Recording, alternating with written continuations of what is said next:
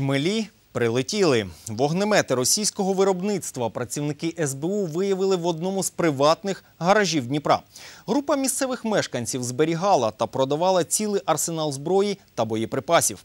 Окрім двох шмелів, правоохоронці знайшли 12 гранатометів, 25 магазинів до автомата Калашнікова, дві протитанкові міни, танковий снаряд, снайперську гвинтівку, 4 ящики гранат РГД, загалом 70 штук, 10 ящиків набоїв різного калібру, гранати до підствольних гранатометів, пістолети, бронежилети тощо.